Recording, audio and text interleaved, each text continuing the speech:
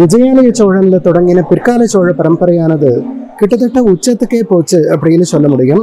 விஜயாலயன் அதுக்கு பிறகு ஆதித்ய சோழன் அதுக்கு பிறகு முதலாம் பராந்தகன் அதுக்கு பிறகு கண்டராதித்யன் அதில் தொடங்கி சுந்தர சோழன் அதுக்கு பிறகு வரக்கூடிய சோழர்கள் இப்படி வந்திருக்கக்கூடிய சோழ பரம்பரையில் மிகச் சிறப்பான இடத்தை தொட்டவர் முதலாம் ராஜராஜ சோழர் அப்படின்னு சொல்லலாம். அந்த ராஜராஜ சோழனுடைய வீர பிரதாபங்களையும் மிஞ்சுற அளவுக்கு அதாவது அவர் பெற்ற வெற்றிகளையும் மிஞ்சுற அளவுக்கு கங்கையிலிருந்து கடாரம் வரைக்கும் கொண்ட மிகப்பெரிய அரசன் அப்படின்னு சொல்லணும்னா முதலாம் ராஜேந்திரன் தான் சொல்லலாம்.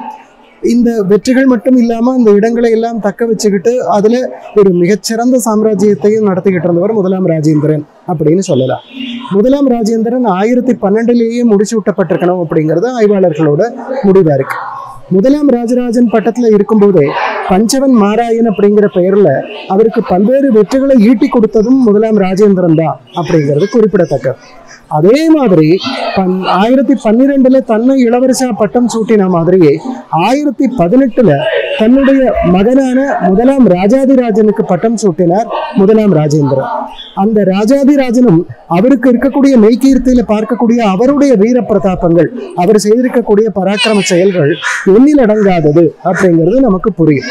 அவர் இப்படி ஒரு இளவல் அதுக்கப்புறமா வரக்கூடிய இளவல் அப்படின்னு எல்லாம் பார்க்காம தன்னுடைய சிறிய தாதை அப்படின்னு இருந்த கங்கை கொண்ட சோழன் அதுக்கப்புறமா இருக்கக்கூடிய தம்பிகள் அதுக்கப்புறம் பின்னாடி வரக்கூடியவர்கள் என்று எல்லாருக்கும் தன்னுடைய அரசாங்கத்தோட ஒரு ஒரு பகுதியை பிரதிநிதியா இருந்து ஆண்டு வர சொன்ன செய்தியானது நமக்கு மணிமங்கலம் மாதிரி நிறைய இடங்கள்ல கிடைக்கக்கூடிய கல்வெட்டுகள்ல திங்களையர் தருதோன்றங்கள் அப்படிங்கிற தொடங்குற அவரோட மெய்கீர்த்தினால தெரிய வருது அங்கே சாளுக்கியர் மாளிகை தகர்ப்பித்ததாகட்டும்.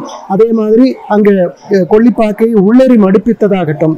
இப்படி பல்வேறு வீர பராக்கிரம செய்த செயல்களை செய்தவர் நம்முடைய ராஜாதிராஜ சோழன் அப்படின்னு சொல்லலாம். அவர் குப்பத்தில் நிகழ்ந்த போரில் மாண்டுபட்டார் அப்படிங்கிற செய்தியும் நமக்கு தெரிஞ்சிருக்கும்.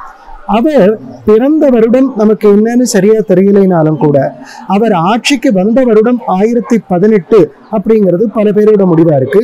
குடந்தை சேத்துராமன் அவர்கள் அதுல கிடைக்கக்கூடிய வானியல் குறிப்புகள் ராஜாதிராஜனுடைய கல்வெட்டுகள்ல கிடைக்கக்கூடிய எல்லா வானியல் குறிப்புகளையும் தொகுத்தெடுத்து அவர் ஆயிரத்தி பதினெட்டாம் வருடம் ஜூன் பதினெட்டாம் தேதி பட்டத்திற்கு வந்திருக்கலாம் அப்படிங்கிற ஒரு முடிவை முன்வைத்திருந்தார்.